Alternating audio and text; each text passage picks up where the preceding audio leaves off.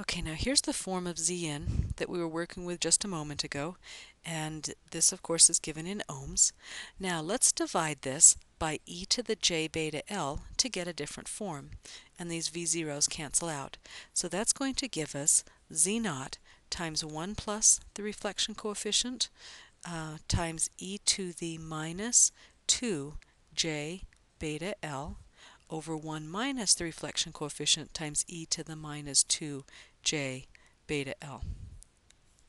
Now this little term right here allows us to write the e to the minus j beta L as cosine of beta L plus j sine of beta L. That's if it's plus, and it's going to have a minus in here if it's minus.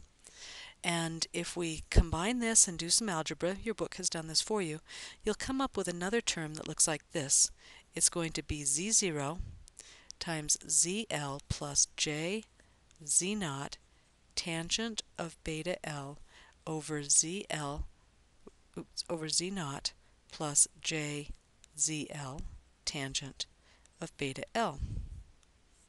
Sometimes this form is easier to work with than the other. It's really up to your discretion each time which of these two forms of Zn you use. They both are going to work.